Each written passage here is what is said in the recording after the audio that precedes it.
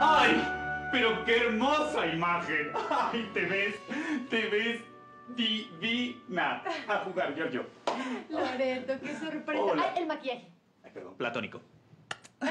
¿Qué estás haciendo aquí? Em, Pues en primera, vine a revisar hasta el último detalle. ¿Por qué? Porque todo el mundo sabe que hoy vas a lucir una creación mía. Y tienes que verte perfecta.